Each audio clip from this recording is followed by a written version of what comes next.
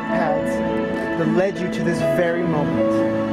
And after today, it is now merged to one through marriage. And if there's a few things that I hope would carry along its way with the two of you throughout your journey, it would be for you both to always be willing, from the heart, to listen, learn, and to love. And by that I simply mean to have the ability to listen to one another. What it is that it is that they have to offer, and what makes them feel whole and complete and part of this relationship. Because after all, they just may be the voice of reason. And secondly, would be the ability to learn. Always be willing to learn whatever it takes to help the other fulfill every desire, every wish, every dream,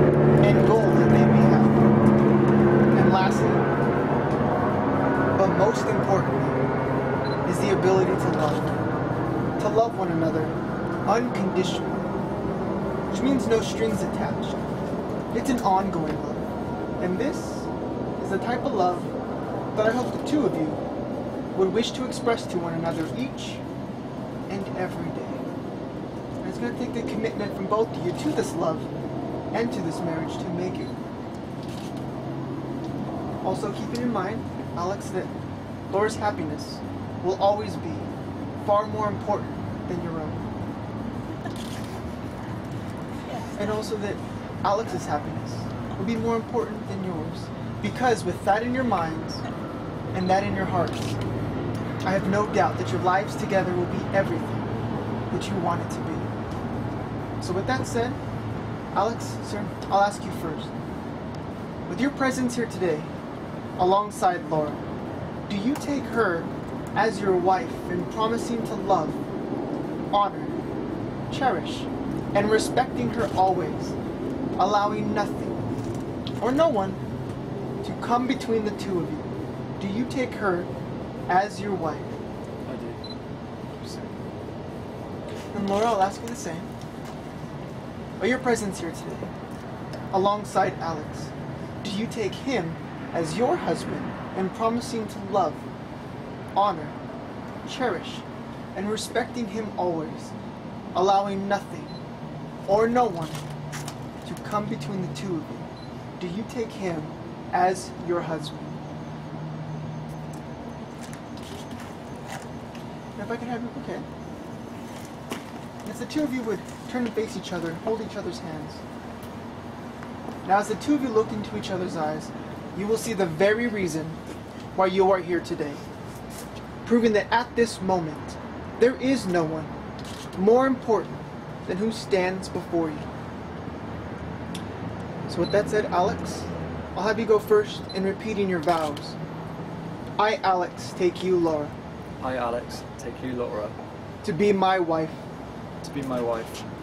I will always be there for you, I will always be there for you, through good times and bad times, through good times and bad times, whether we are rich or poor, whether we are rich or poor, in sickness and in health, in sickness and in health, through laughter and tears. through laughter and tears. I will love and cherish you. I will love and cherish you. I give you my pledge. I give you my pledge. Thank you, sir. Laura, looking into Alex's eyes, I'll have you repeat your vows. I, Laura, take you, Alex, I, Laura, take you, Alex, to be my husband. to be my husband.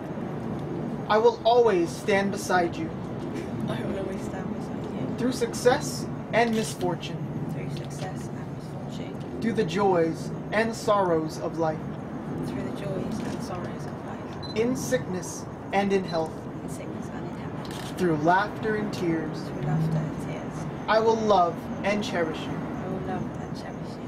I give you my pledge. I give you my pledge. Thank you. And at this time, may I have the rings, please?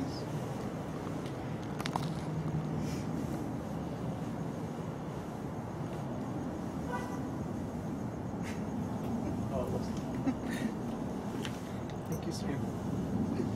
Now, these rings will seal this commitment. They're not only tokens but symbols of the very love and devotion that the two of you are expressing here today. And my hope is that in each and every day, with the two of you wearing these rings, may they constantly remind you of that promise and pledge that you two have just made to one another. And in time, these rings may lose beauty, but I hope that the two of you would not only value, but take honor in wearing these rings for what they truly represent. And through your friends and family, the beauty will shine through you both, and the two of you will always remain a wonderful example for all. So, Alex, I'll you take Laura's ring, and if you could place it upon her ring finger, and if you could please repeat, with this ring, With this ring, I seal my promise I seal my promise to be your faithful and loving husband, to be your faithful and loving husband. and I feel so honored And I feel so honoured to call you my wife. to call you my wife.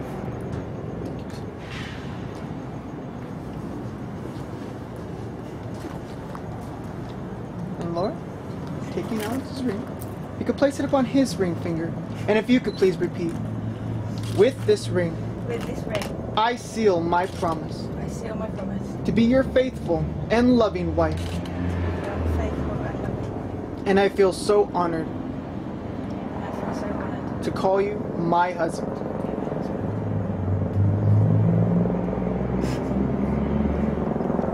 Perfect.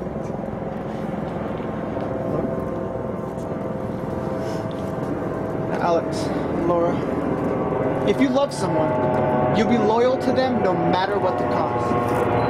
You will always stand beside them. You will always love and trust them. And you will stand your ground in defending them, no matter what. Now, there's a short saying that I like to leave with the two of you. And it simply says, don't walk in front of me. I may not follow. Don't walk behind me. I may not lead. But walk beside me as a friend. Because after all, throughout your journey in marriage, that is what the two of you will be constantly building on is a deeper, richer, stronger friendship built upon the foundation, your lovely relationship that the two of you already have. And I'd also hope that the two of you would not only love each other for who they are, but for what they are also helping to make of you. And the 25th of October, day that will now mark your anniversary. It certainly has been a joy to be part of this celebration with you two. And with the power vested in me by the state of Nevada, it is my honor and my privilege to now be able to pronounce you as husband and wife. Alex, you may now kiss your wife, sir.